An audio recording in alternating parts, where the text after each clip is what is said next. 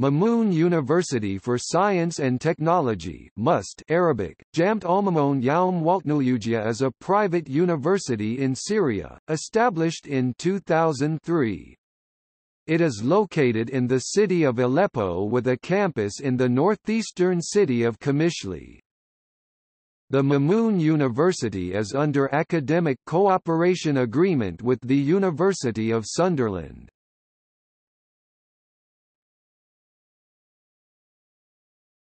Topic: Faculties. Engineering and Technology. Management and Finance. Arts and Humanities